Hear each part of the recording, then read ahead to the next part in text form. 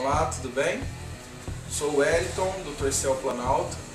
É, eu estou tirando esse tempinho para avisar todos os nossos clientes, amigos, que a nossa loja está passando por uma, uma nova fase. Uma fase de mudança agora, né? Este ano a gente completa sete anos de mercado, sete anos complicados de mercado, dois anos deles aí de pandemia, né? Tanto que meus concorrentes originais do, desses sete anos, acho que não sobraram nenhum. Né? Mas nossa loja está aí firme, forte e agora estamos fazendo algumas mudanças, tanto na estrutura quanto na política interna, para atender cada vez melhor nossos clientes.